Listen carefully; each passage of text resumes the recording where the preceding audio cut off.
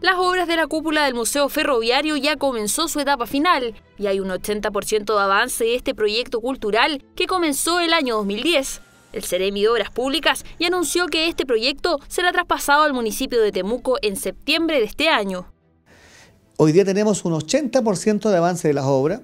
Esperamos de aquí a unos dos o tres meses máximo tener terminadas estas obras y entregarlo a la Municipalidad de Temuco, quien va a administrar esta, esta mega obra y de manera que para, esperamos que para las fiestas patrias tengamos ya esta, este espacio público abierto a la comunidad. Una infraestructura que tendrá alta tecnología y que contará con espacios culturales como un mismo anfiteatro. La idea es que la comunidad también pueda conocer la historia del Museo Ferroviario. Son obras de primer nivel, es una cúpula con tecnología de punta, iluminación LED, tenemos sistema de eficiencia energética, va a haber un anfiteatro que está ya bastante avanzado, con butacas espectacularmente el primer nivel, estamos haciendo nuevas boleterías y salón de exposiciones, baños públicos, estacionamiento.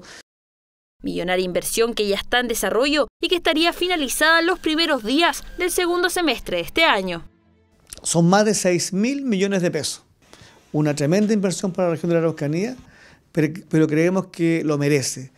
Eh, en Temuco faltan espacios de esparcimiento, faltan espacios culturales atractivos a la comunidad y esto va a ser un espacio, como digo, eh, interesante para los turistas, para también para la gente, para los estudiantes, para que puedan conocer la historia del ferrocarril.